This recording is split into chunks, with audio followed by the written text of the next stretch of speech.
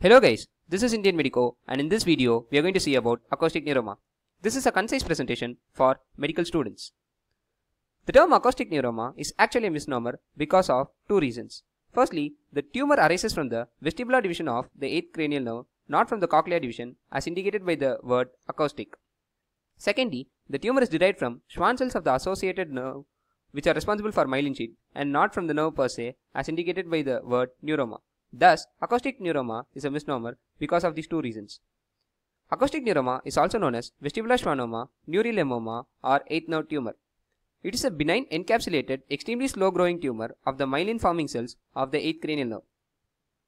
Coming to the pathology of this disease, microscopically it consists of elongated spindle cells with rod shaped nuclei lying in rows or palisades. Now let us see about the origin and growth of acoustic neuroma. A acoustic neuroma arises from the Schwann cells of the vestibular division of the 8th cranial nerve within the internal auditory canal. As the tumor expands, it causes expansion and widening and erosion of the internal auditory canal and then appears in the cerebellopontine angle.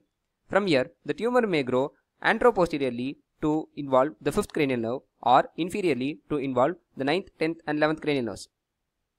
In later stages, the tumor causes displacement of brainstem, pressure on cerebellum and raised intracranial tension. Remember that acoustic neuroma shows extremely slow growth and history may extend over several years. This picture shows an acoustic neuroma. This is a three-dimensional picture of an acoustic neuroma. Now coming to the classification of acoustic neuroma, acoustic neuroma can be classified into four types depending on its size. It can be called intracranial when it is confined to internal auditory canal. It is called small size when the size is less than 1.5 cm. It is medium size when the size is between 1.5 and 4 cm. It is large size when the size is greater than 4 cm. Coming to the cochlear-vestibular symptoms seen in acoustic neuroma. These are the earliest symptoms. They are due to pressure on cochlear or vestibular nerve fibers or on the internal auditory artery. Progressive unilateral sensory neural hearing loss is a chief symptom. Acoustic neuroma can also present with tinnitus.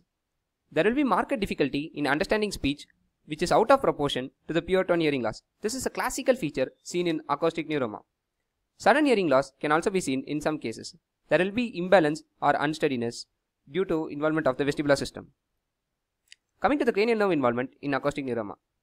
Due to the involvement of the fifth cranial nerve, there will be reduced corneal sensitivity and numbness or paresthesia of face. Due to the involvement of the seventh cranial nerve, there will be hypoesthesia of posterior meatal wall, which is called as Hitselberger sign. There will be loss of taste. There will be reduced uh, lacrimation, which can be seen on Schirmer test, and there will be delayed blink reflex. Due to the involvement of the 9th and 10th cranial nerves, there will be dysphagia and hoarseness of voice. Cranial nerves 11, 12, 3, 4 and 6 are affected when the tumor is very large. Coming to the brainstem involvement, due to the involvement of the brainstem, there can be ataxia, weakness and numbness of arms and legs, and there will be exaggerated tendon reflexes. The cerebellum will be involved in case of large tumors. It can be tested by finger nose test and knee heel test. There will be dysdiadochokinesia and the patient will be suffering from ataxic gait and he will be unable to walk along a straight line with tendency to fall to the affected side. Raised ICT is a late feature. Due to raised ICT, there will be headache, nausea, vomiting. Diplopia can be seen due to the 6 cranial nerve involvement. There will be papilledema with blurring of vision due to the raised intracranial tension. What are the investigations that you will do in a case of acoustic neuroma? Pure tone audiometry with speech discrimination score. Speech discrimination score shows a phenomenon called rollover phenomenon. Rollover phenomenon is the reduction of discrimination score when loudness is increased beyond a particular limit. Other investigations are stapedial reflex decay, evo evoked response audiometry, MRI with gadolinium contrast. MRI with gadolinium contrast is considered to be the gold standard in the diagnosis of acoustic neuroma. Other tests are caloric tests and neurological tests like cranial nerve examination. This is an MRI image of an acoustic neuroma. Coming to the differential diagnosis of acoustic neuroma. Acoustic neuroma can be confused with cochlear pathology like Meniere's disease and other cerebellopontine angle tumors like meningioma, primary cholesteatoma, arachnoidal cyst, schwannoma of other cranial nerves like cranial nerve number 5, 7, 9, 10 and 11, aneurysm, glomus tumor and metastasis. How do you treat a case of acoustic neuroma? Surgery is considered to be the treatment of choice for acoustic neuroma.